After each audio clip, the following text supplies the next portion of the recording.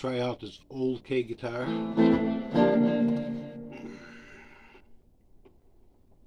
Probably 1960s, somewhere around there. It's been laying around like me.